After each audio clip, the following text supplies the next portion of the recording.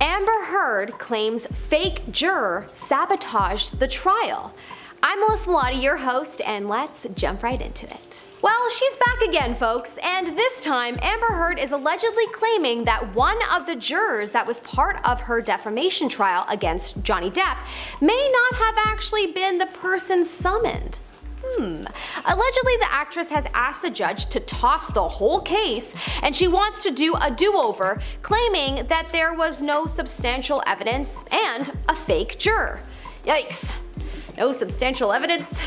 Ah, just you admitting that you hit Johnny many times, the fact that while on the stand you had a Freudian slip and said that you did write the op-ed about Johnny, but Whatever. Apparently Amber's lawyers have filed new documents in Virginia asking the judge to set aside the verdict in favor of Johnny entirely or to order a new trial. Anyone who watched the trial knows that the judge was so done with the trial as it was closing that it really feels unlikely that she would opt for another six weeks, but who knows? But it will be interesting to see if she waives the verdict in favor of Johnny. Johnny Depp's lawyer Ben Chew has gone on to comment that they were expecting this and that nothing was substantial in her motion. A spokesperson for Heard has gone on to comment as to why she is appealing, saying, You don't ask for a pardon if you are innocent, and you don't decline to appeal if you know you are right. Interesting. Well, that's not entirely true. You would if you've been publicly humiliated and and have lost all chance of being hired again in your profession. Also, I'm sure the narcissists of the world never give up either when their reputation is on the line, so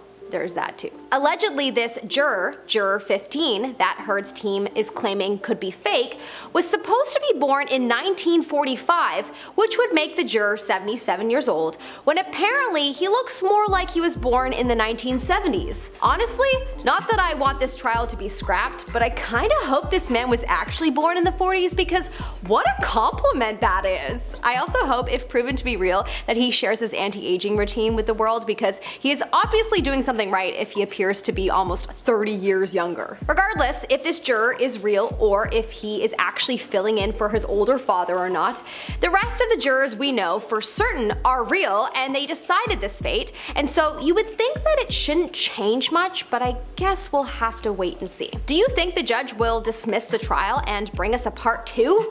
Would love to know your thoughts in the comment section below. I'm Melissa Melottey, your host, and I'll see you next time on Information Overload. Have a good day.